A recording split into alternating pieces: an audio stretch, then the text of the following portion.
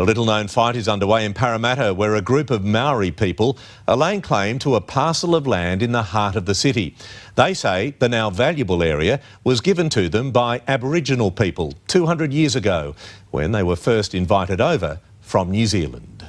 Mustering strength from their Maori ancestors, this group is preparing to take their ancient culture into a modern day legal battle. We are Ngāti Rangihau Karingi Hapu and we are here to reclaim Rangihau lands. Under the leadership of the formidable Lady Crown, this group believes it is the sovereign of the soil, maintaining that Aboriginal leaders way back in 1811 entrusted their Maori king to 112 acres of what is now Sydney's second biggest CBD. The disputed area, an eastern section of central Parramatta, taking in parklands and reserves along with part of the river. We want acknowledgement and recognition.